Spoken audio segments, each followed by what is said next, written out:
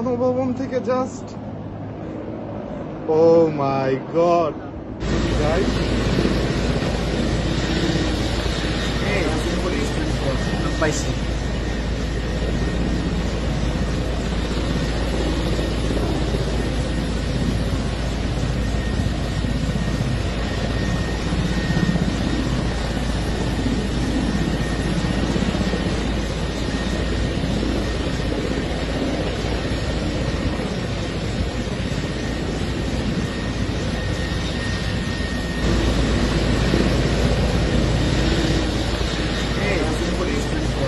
配信